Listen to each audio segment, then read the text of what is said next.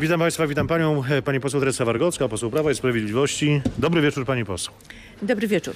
Pani poseł brała udział w takim panelu dość ciekawym, inwestycje samorządowe i powiatowe, gminne i powiatowe. Jakie wnioski po takim panelu? Bardzo ciekawy panel. W panelu uczestniczyli przedstawiciele wszystkich szczebli samorządowych, gminy, powiatu, województwa. E, Był pan wojewoda pomorski, wojewoda kujawsko-pomorski, więc udało zrobić nam się taki przegląd e, inwestycji tutaj e, na Pomorzu. I wy- wydaje mi się, że taki główny wniosek. Naprawdę wszyscy sobie wzajemnie dziękowali. Przedstawiciele rządu w terenie, samorządowcy, panom wojewodom. Ogromne zadowolenie z tego, że miliardy złotych płyną do e, samorządów lokalnych. I Z- samorządy to doceniają, wiedzą o tym?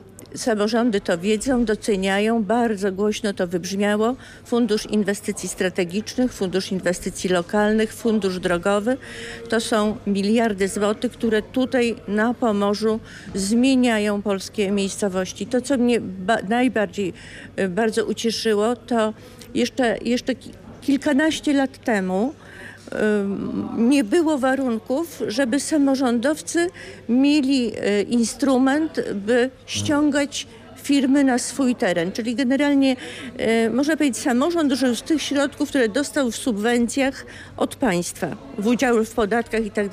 Dzisiaj są samorządy, które otrzymały środki na uzbrojenie terenów inwestycyjnych. I mówią bardzo wyraźnie, jeżeli będzie praca, jeżeli będą dobre zarobki, nikt z naszych gmin nie będzie wyjeżdżał, będzie rozwój, będzie I przyszłość. to są rozmowy, Pani poseł, te na szczeblu powiedzmy samorządowym. I tutaj samorządowcy wielokrotnie chwalą tę współpracę.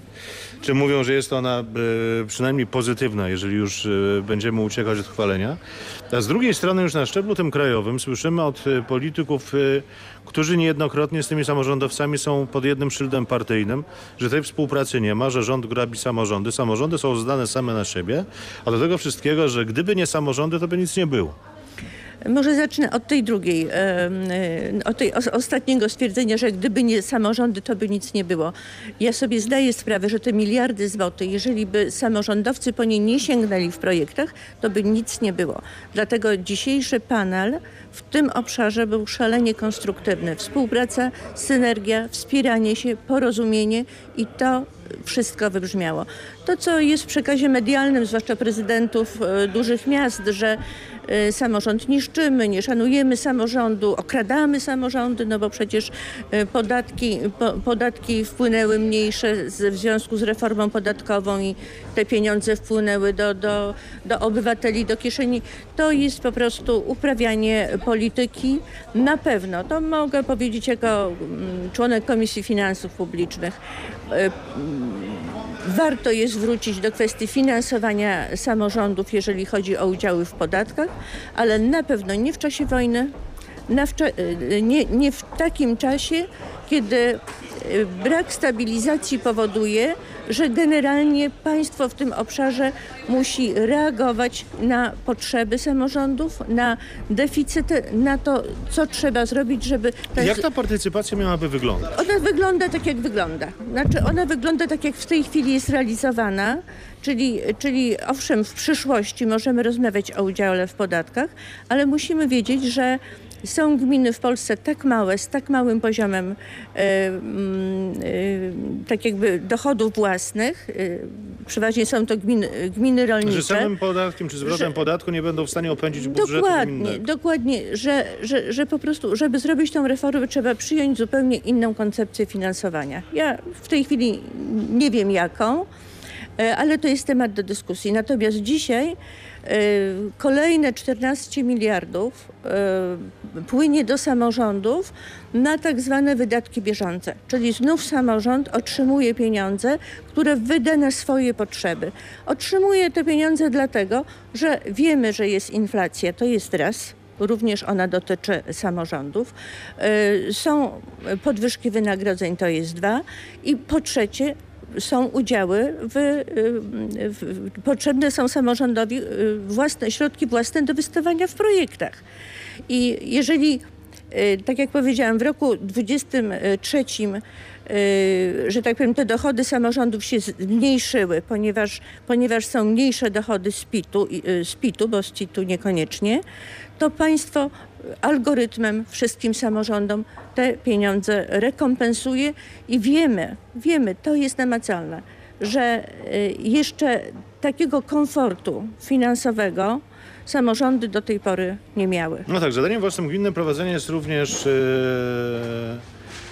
prowadzenie, już będę wy- wymieniał poszczególne szkół, przedszkoli, jest, jest to zadanie własne gminy.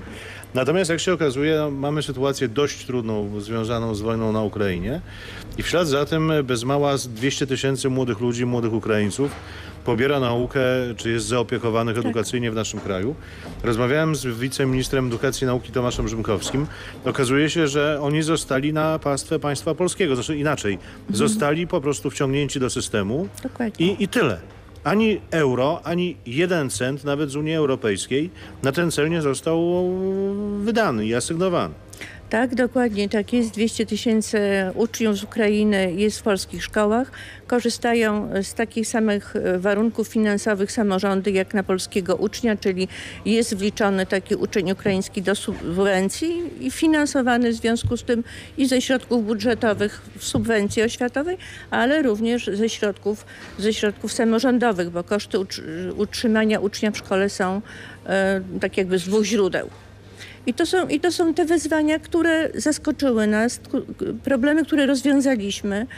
Yy, I naprawdę wszyscy chyba, yy, że tak powiem, chcielibyśmy stabilizacji, zakończenia wojny na Ukrainie, bo ona cały czas yy, trwa, ona ma różne fazy.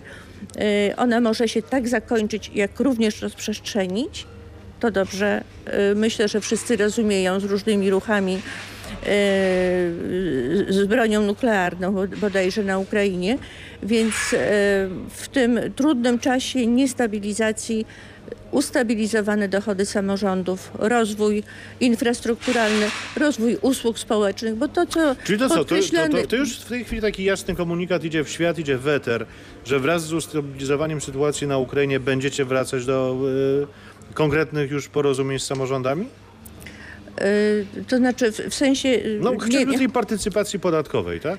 Tak, to znaczy minister finansów zapowiada, to, to my możemy do tego usiąść, skoro, skoro tak bardzo, e, że tak powiem, krytykowana jest ta kwestia taka dotacyjna poprzez programy samorządów, no to każdy temat można otworzyć, prawda? Jeżeli, jeżeli system funkcjonuje kilkadziesiąt lat i się nie sprawdza i, i tak jakby jest niedoskonały, no to, no to siądźmy i rozmawiajmy. I jest ta deklaracja nad innym sposobem partycypowania samorządów w środkach budżetowych. Może, może tak nazwę to najbardziej ogólnie, żeby nie nazywać, co to może być. Właściwie prawda? każde wydarzenie ekonomiczne, czy y, w ogóle kulturalne, czy nawet intelektualne odbywające się po 24 lutego ubiegłego roku, ono jest zdominowane przez Ukrainę. Nie mówię w dużej mierze, w małej mierze, ono jest po prostu zdominowane przez Ukrainę.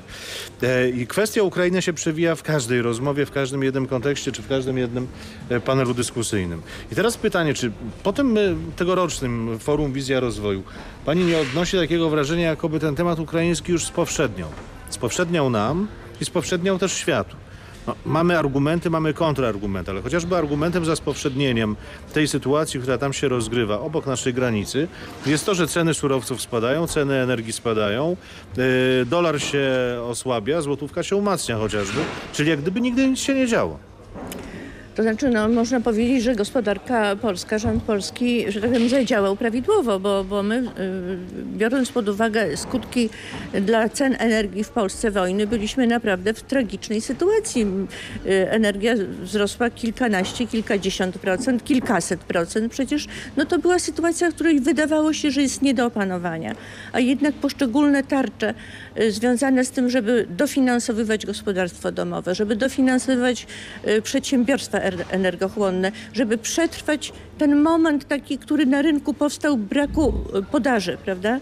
Bo, bo, bo to było problemem. Nagle się okazało, że tego gazu nie ma. I, i, czy, czy sankcje związane e, z paliwami. I okazuje się, że mija dwa lata i wchodzimy w ten element stabilizacji. E, Ale, tak jak również wybrzmiało w tym panelu, który pan redaktor uczestniczył, e, to, co się wydarzy, jest bardzo niewiadome. Prawda? Czyli generalnie jest jakaś stabilizacja, ale być może jakieś warunki spowodowane e, geopolityką, wojną, nie wiem, tragedią, katastrofą e, związaną, związaną z, z przyrodą.